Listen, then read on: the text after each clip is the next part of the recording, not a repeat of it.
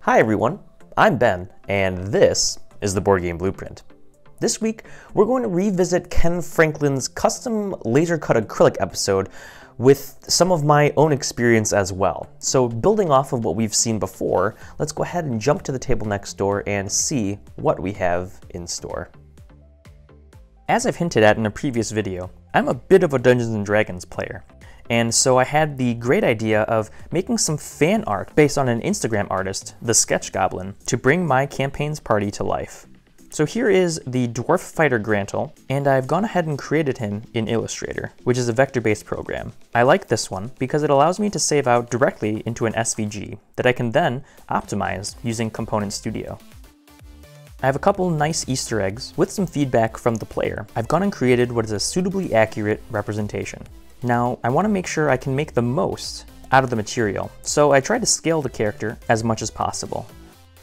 In fact, I actually worked on the character in a separate file and then put them and the base into the GameCrafter laser cut template.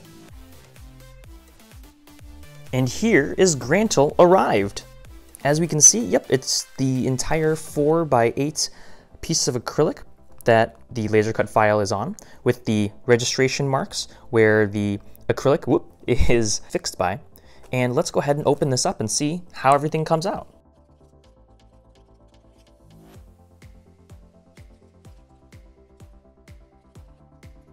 So before we attach the figure to the base, let's go ahead and just take a quick look at some of this awesome detail.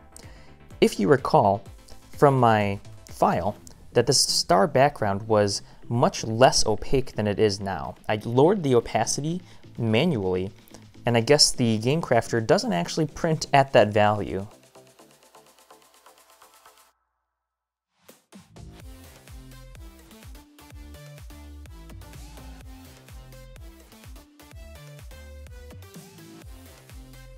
So if you wanted something really, really light, you have to put in the hex code to do so. But it really captures all the small details, like that little snail that we hid in there before. And the colors look just about exactly right. Now this is on the clear acrylic, as you can probably tell, and so when we flip over the backside, we can see on a not double side printed file that the ink is visible behind. So that's a pretty neat effect too, if you weren't going to use, again, a color acrylic.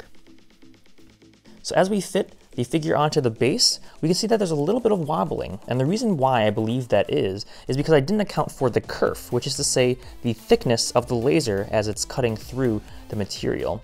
Because the kerf is two ways, in a sense, the reason why the pieces kind of were falling so easily out of the sheet, there's a little bit too much space so the pieces don't lock in together. If I were to redo this again, what I would probably do is go ahead and make these gaps or widths slightly thinner, perhaps even subtracting two times the kerf on the SVG. But I'm going to go ahead and when I gift this over to some friends of mine, pitch that this makes for easy and quick assembly and disassembly. Overall, it looks great, and it's exactly what I wanted. Hopefully my friends feel the same way.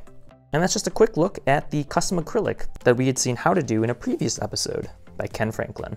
So if you want large, imposing game pieces of your own, different characters in your world, or machines of some kind, you can absolutely make them real through the Game Crafter. Our most observant viewers will remember that in a previous episode, I also showed off some custom laser cut acrylic using an opaque color, that is to say, a white flavoring for the fan expansion to Dungeon Drop.